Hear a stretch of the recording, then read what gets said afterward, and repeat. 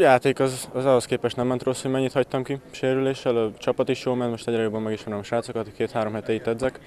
Úgyhogy első, első meccsnek mindenképpen pozitív. A Paksi FC újonnan igazolt fiatal támadója két gólban is oroszlán részt vállalt a Budafok ellen.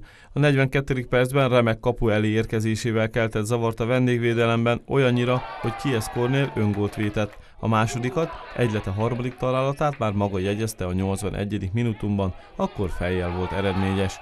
Csak úgy, mint csapattársa Rodenbücher István egy szegülötet követően az 57. percben. A mérkőzést a PFC tehát 3-0-ra nyerte, de a mezőnyben egyenrangú ellenfél volt a látogató.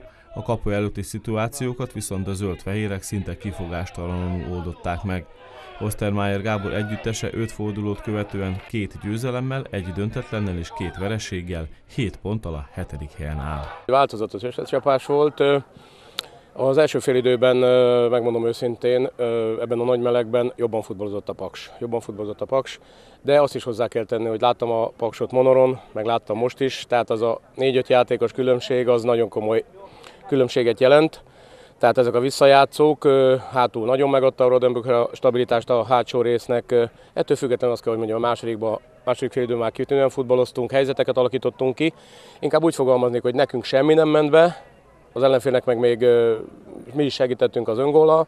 Tehát összességében a közönség egy jó mérkőzést láthatott, de nekünk ez egy sovány igaz. Hát az első fél időben mező, meddő mezőnyfölényben játszottunk, ott talán azt gondolom, hogy kis szerencsével megszereztük a vezetést, de valamennyire érett is a gól.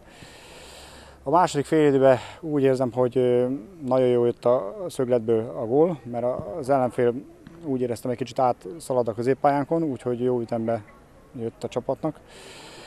Utána azért kinyílt az ellenfél, voltak lehetőség, az utolsó passzok elakadtak sajnos, vagy rossz, meg, rossz technikai megoldást választottuk. Lehetett volna több is, amit rugunk, de ne legyünk teletetlenek. De el kell ismernem a másik csapatot, hogy ők is rúghattak volna gólt, jó játékosokból áll, és jó focit játszott az ellenfél is.